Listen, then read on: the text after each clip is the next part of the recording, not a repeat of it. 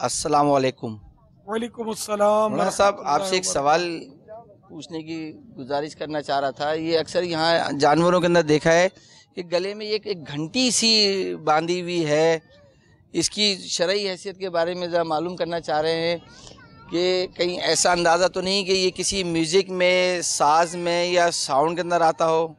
वो जानवर के गले में अगर इस नियत से घंटी बांधी है कि कोई रस्सी खोल के इसको चलता बने तो उसकी टन टन टन टन आवाज़ आती हो तो पता चल जाए कि वो चोरी हो गया और चोर लेकर जा रहा है इसको। तो इस मकसद के लिए तो जायज़ है घंटी बांधना, वरना इजाज़त नहीं। फुका किराम ने सिर्फ़ इसी की इजाज़त दी कि कोई चोर वगैरह खोल कर लेकर भागेगा तो पता चल जाएगा, घंटी टन टन टन टन बजी, खोलेगा तो जानवर हिलेगा, झूलेगा तो घंटी बजेगी ना तो वो मालिक चौकन ना हो जाएगा। इस नीयत से बाँध सकते हैं वैसे जायज़ नहीं है।